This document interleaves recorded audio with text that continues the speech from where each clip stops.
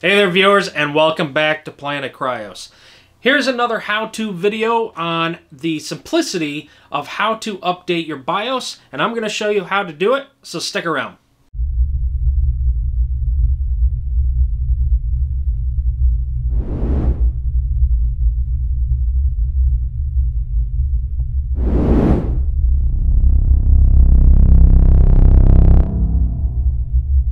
All right, so to get started, the only things that you need is basically a thumb drive, anything smaller than 8 or, you know, 16, 8 gigabytes. You really don't need anything larger than that. Really, you need you could use something smaller than even uh, 8 gigabytes. It's not a very big file size uh, when it comes to updating your BIOS, but you nevertheless, you do need a thumb drive. So I have a dedicated one, as you can see here. It actually just says BIOS on it.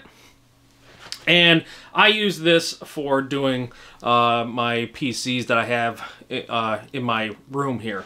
So the other thing you need to know is you need to know what motherboard you have. And there's a couple ways of going about doing that. One is if you actually have your motherboard box. Um, this one um, is the ninth gen, and you can see the uh, the the uh, the number here that you're going to need to type in. You type this in verbatim into Google, and usually your first selection is going to be the Google's website.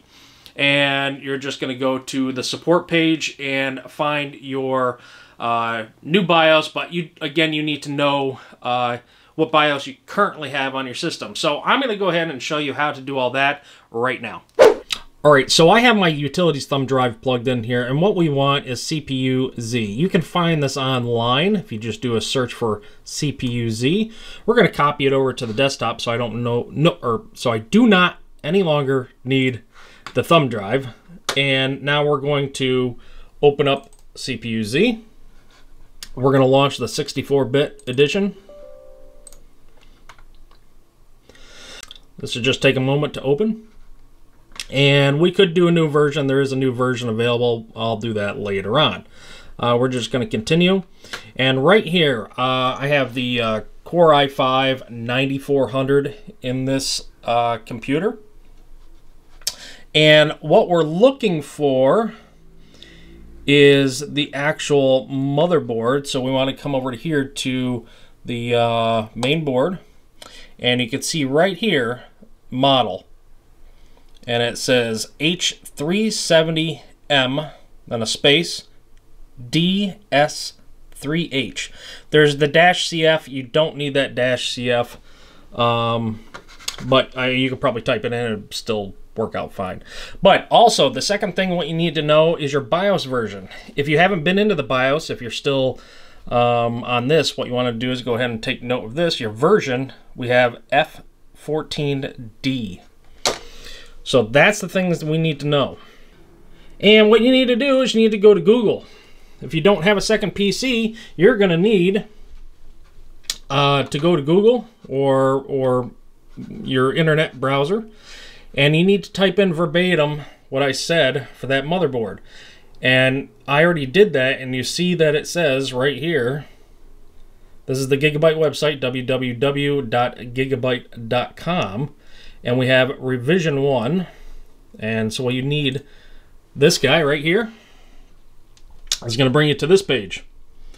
Now, up over here on, on this page in the black area, there's going to be a support button. Sometimes it'll say support up here, up top. You don't want that, whatever it says on the white or up above this support button. You always want this one. So go ahead, click on that. This is uh, Gigabyte's website. Uh, other manufacturers do it a little differently, or they could possibly do it differently. And for Gigabyte's website, we're going to scroll all the way down. Right here where it says BIOS.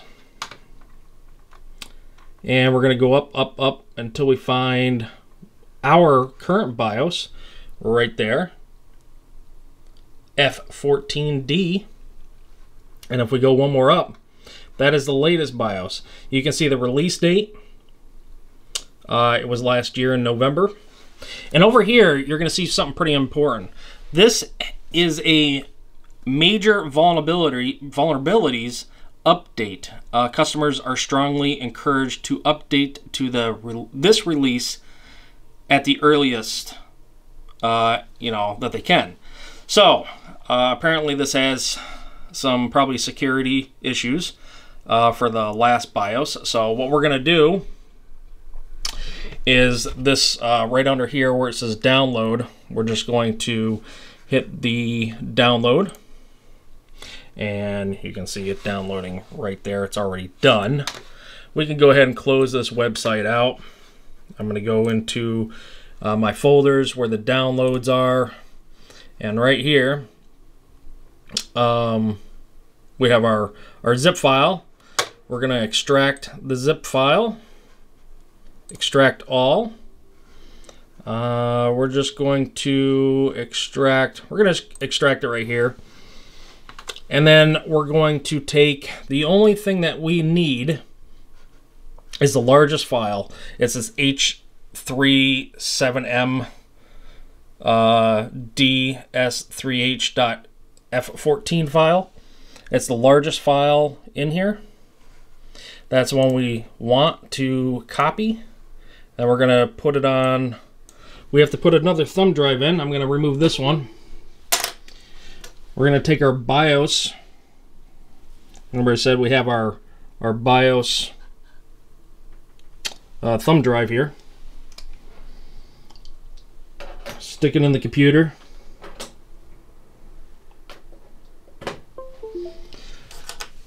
And we're to close that.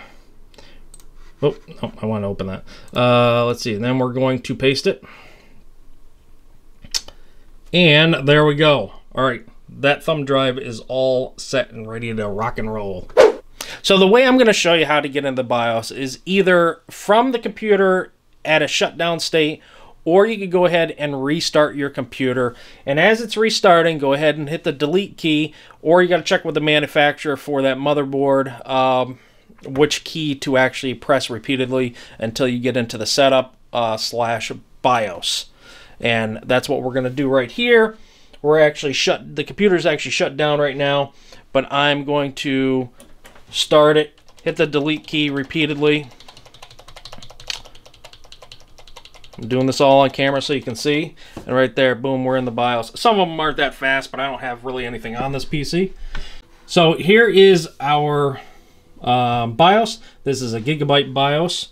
Um, so right down here, or up here, let's start up here where it says BIOS. We click on that. We can actually... Uh, nope, it's not in BIOS. We can actually go to System. Okay, System. See, we have the F14D. And we're actually going for the 14. F14 is what we want. So, uh, down here at the bottom, there's a little arrow. We want Q flash. That's so we can flash the BIOS. And we should see, uh, let's see, update the BIOS. You can see our thumb drive is being recognized and it sees it right here as the file. I'm going to go ahead and click on that. Click this arrow over here to continue. So you have the two options here. You can either do a fast update, which basically just means you're not going to do the Intel ME, which stands for Management Engine, uh, or you could do the what's called Intact, and it will install the new management engine and all that. So you kind of have a couple of options here. Um, I guess if there's a new management engine, it's probably a good idea to go ahead and do that. So that's what we're going to do since this was a critical BIOS update. I'm going to go ahead and do the whole thing. This is going to take more time. You're going to have more reboots also with it. If you're doing just a basic bio or BIOS install, then uh, it's not going to take all but, you know, maybe two reboots. This one could take three, four, five reboots. Um, uh, actually, one of my computers actually was even more than that. So, anyway, uh, go ahead and uh, click on Intact. Just make sure it's highlighted and click your next button here. And after you do that, oh, there we go. Um, you're just going to watch this and watch this. Don't click on anything else. Well, all we do is, all we're getting is that blinking cursor. Um, it rebooted two or three times, and then that's where it sits. And I've seen this before. Um, still don't worry too much about it, but I gave it probably an additional 10, 12 minutes. It hasn't done anything since. Um, I can hear the CPU fan increasing a little bit, decreasing, but not by much. Um, at this point, I think we're safe to go ahead and uh, power down the computer um, and go ahead and turn it back on again. Um, sometimes you just run into these issues. Uh, it's nice that it came up um, like this. It's still a, a simple, you know, process to do. It's just you gotta be mindful that stuff like this can happen and just be patient and it'll do what it's gonna do. Alright, at this point I'm just going to hold in the power button of the PC. We're gonna force shut it down. And when it powers off here, there it goes. Give it a second and we're gonna power back up. And we should be good. Let's just see what happens here. It's a good sign. And look at that, we're getting into Windows. See that? No sweat. So, let's take a look at our BIOS and make sure that it's updated. We have our F14, so it did update. F14. It's not F14D anymore, and you can see the BIOS date version right here. All right, guys, so if you have any questions on updating a BIOS, uh, go ahead and leave them in the comments down below. Uh, and otherwise, don't forget to subscribe, uh, share, and go ahead and hit that like button uh, so I can continue making the uh, the choiced um, or the chosen um, videos that I'm selecting. So I had to do this BIOS anyway, this BIOS update anyway, so I figured I'd uh, pull you along. It's a slightly different than from an Asus. Uh, just about the you know the layout of the BIOS and whatnot. So uh, it kind of served its purpose for making a video. So anyway, that's all I have. Uh, so until next time, guys, take care.